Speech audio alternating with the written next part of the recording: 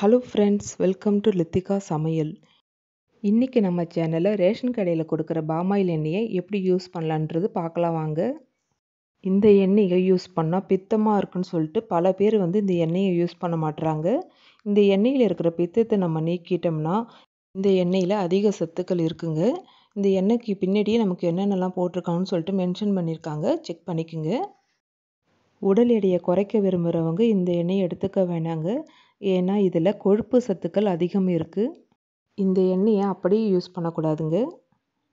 இந்த எண்ணெயில் இருக்கிற பித்தத்தெல்லாம் நம்ம நீக்கிட்ட பிறகு தான் சமையலை சேர்த்துக்கணுங்க. அப்படியே நம்ம யூஸ் பண்ணோம்னா சில பேருக்கு வந்து தலை சுத்தல் வாந்தி மயக்கம் வயிற்று வலி கூட சில பேருக்கு வர்றதுக்கு வாய்ப்பு இருக்குது அதனால் நம்ம இதில் இருக்கிற பித்தத்தெல்லாம் நீக்கிட்ட பிறகு தான் நம்ம சமைக்கணுங்க.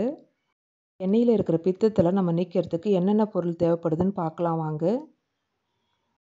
ஒரு பாக்கெட் எண்ணெய்க்கு நான் இந்த அளவு நான் இஞ்சி எடுத்திருக்கேங்க. நம்ம உடம்புல பித்தம் அதிகமாகிடுச்சுன்னா வீட்டில் இஞ்சி கஷாயம் தான் வச்சு கொடுப்பாங்க. அதனால் எண்ணெயில் இருக்கிற பித்தத்தை நம்ம நீக்கிறதுக்கு இந்த அளவு நம்ம இஞ்சி எடுத்திருக்கோம். அடுத்து கொஞ்சமாக கல்லுப்பு எடுத்துக்கலாம். ஒரு பெரிய நெல்லிக்காய் சைஸ் அளவு நம்ம புளி எடுத்துக்கலாங்க. உப்பு வந்து நம்ம நேரடியாக எண்ணெயில் போட முடியாதுங்க. எண்ணெயில் போட்டோம்னா படப்படன்னு வெடிக்கிற சத்தமாக கேட்கும். அதனால் நமக்கு புளிக்கு உள்ளுக்குள்ளே தான் நம்ம உப்பு வச்சு நம்ம எண்ணெயில் போட போகிறோம் அதனால் புளியை நல்லா அழுத்தம் கொடுத்து நல்லா பிசைஞ்சிக்குங்க.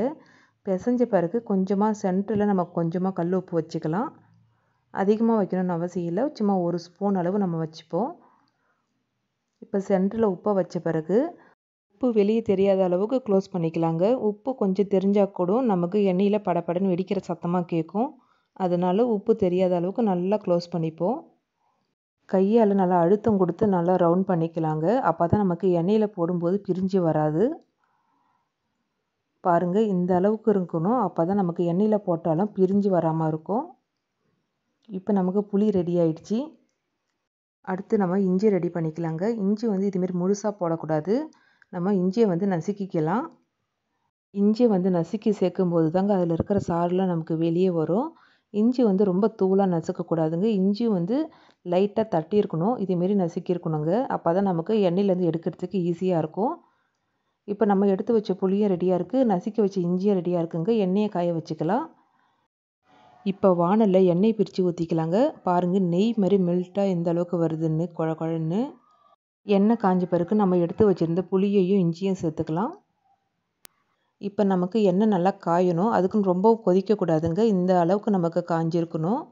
இப்போ எண்ணெய் நல்லா காஞ்சிருச்சா இல்லையான்னு சொல்லிட்டு ஒரு சின்ன மிளகு சைஸ் அளவு புளியை வந்து நான் உள்ளுக்குள்ளே போடுற பாருங்கள் மேலே எழும்பி வரணும். அந்த அளவுக்கு காஞ்சா போதும்.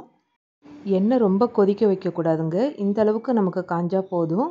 இப்போ புளி வந்து நல்லா மேலே எழும்பி வருது பாருங்கள் இந்த ஸ்டேஜில் நம்ம எடுத்து வச்சுருந்த புளியையும் இஞ்சியையும் சேர்த்துக்கலாம். நம்ம எண்ணெயில் போட்ட புளி வந்து நல்லா கருப்பாக மாறணுங்க. இஞ்சியும் நல்லா கிறிஸ்பியாக நல்லா மொறு மொறுன்னு நல்லா பொரிஞ்சிருக்கணும். அப்போ தான் நமக்கு அதில் இருக்கிற பித்தெல்லாம் நமக்கு நீங்கியிருக்கும்.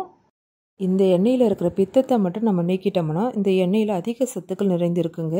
நம்ம ரேஷன் கடையில் வெறும் இருபத்தஞ்சி ரூபாய்க்கு ஒரு லிட்டர் எண்ணெய் கிடைக்கிதுங்க. இதில் இருக்கிற பித்தத்தை மட்டும் நம்ம நீக்கிட்டோம்னா ஒரு லிட்டர் எண்ணெய் வெறும் இருபத்தஞ்சி ரூபாய்க்கு நமக்கு கிடைக்கிது. கடைகளில் பார்த்தீங்கன்னா இரநூறுவாய்க்கு மேலே விற்கிதுங்க இந்த சமயத்தில் நம்ம ரேஷன் கடையில் வாங்கின ஒரு லிட்டர் எண்ணெயை இதுமாரி பித்தத்தை மட்டும் நீக்கிட்டோம்னா நமக்கு சுத்தமான எண்ணெயாக கிடைக்கிதுங்க. வெறும் இருபத்தஞ்சி ரூபாயிலேயே. இஞ்சியில் நல்லா கிறிஸ்பியாக வந்துடுச்சு பாருங்கள் புளியும் நல்லா கருப்பாகிடுச்சிங்க இந்த ஸ்டேஜில் நம்ம அடுப்பை ஆஃப் பண்ணிடலாம். அடுப்பை ஆஃப் பண்ண பிறகு எண்ணெயை வந்து நல்லா ஆற விட்டுக்கலாங்க. ஆற விட்ட பிறகு நம்ம ஒரு பாத்திரத்தில் வடிகட்டிக்கலாம். இன்னும் நல்லா ஆறிடுச்சிங்க. இப்போ நம்ம புளியையும் இஞ்சியும் ஒரு பிளேட்டுக்கு மாற்றிக்கலாம் இதை நம்ம யூஸ் பண்ணக்கூடாது. கீழே தான் போடணும். புளி பாருங்கள் எந்த அளவுக்கு நல்லா கருப்பாக இருக்குன்னு. எண்ணெயை இப்போ ஒரு பாட்டிலில் வடிகட்டிக்கலாங்க. நீங்கள் சில்வர் பாத்திரம் இல்லை சில்வர் வடிகட்டியாக இருந்தால் சூடாக இருக்கும்போதே வடிகட்டிக்கலாம். பிளாஸ்டிக் டப்பில் வடிகட்டும் போது எண்ணெய் நல்லா ஆறின உடனே தாங்க செய்யணும். சூடாக இருக்கும்போது செஞ்சிங்கன்னா பாத்திரம் வந்து நல்லா உருகுனாப்பில் ஆகிடும் அதனால் எண்ணெய் நல்லா ஆறின உடனே நம்ம வடிகட்டிக்கலாம். இந்த எண்ணெயை வெயிட் குறைக்கணும்னு நினைக்கிறவங்க கண்டிப்பாக எடுத்துக்க வேண்டாம்.